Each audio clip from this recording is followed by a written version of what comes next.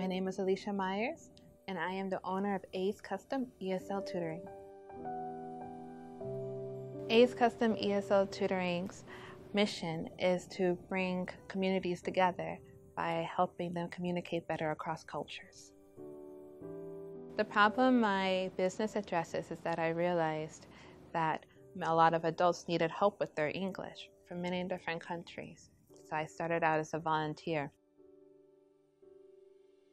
And later on, I realized that they also needed more language support outside of just in person tutoring, which is why I decided to go ahead and start tutoring people on my own.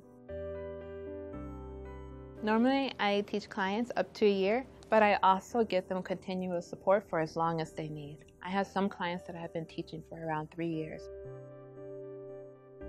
So there's a demand for tutoring because many companies from Japan are coming to Metro Detroit, so the auto city, to go ahead and build their businesses here. I noticed the flyers on campus for free coffee and business advice, so I instantly took interest. The biggest problem I ran into when I first started my business was knowing how to expand it and how to reach more clientele since my clientele was more of a small niche. My first experience at the Entrepreneurship Center was that Kristen and Claire both recommended workshops for me that best suited what my business goals were. My favorite workshop was the one about how to form a business because I didn't really know the difference between LLC and some other business terms, and that really helped me to get my foundation knowledge. The biggest lesson I learned from the Entrepreneurship Center was that even though my business was small, it was still a real business. In the near future, I plan to have a robust website so that I can attract clients from all over the world. The pitch competition process was a really good experience for me because they did things step by step and I never felt overwhelmed. I was placed into the grow category because I already had a steady number of clients. Clients tend to live very far away, so what I want to do is use my website to help reach out to them even though I'm unable to teach them in person. When I won the pitch competition, honestly, I thought there was a mistake because I blanked out during my speech.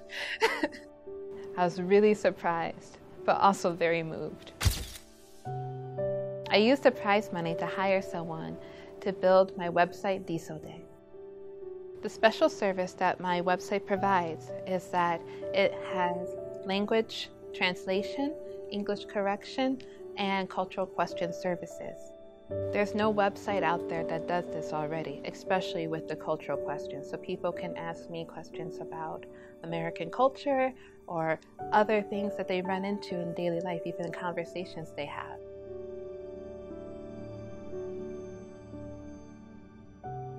The biggest thing I learned from the Entrepreneurship Center was how to seek help. I'm so used to working on my own since I'm a sole proprietor that I didn't even know who to ask, but they connected me to mentors and other people in different professions that could help me.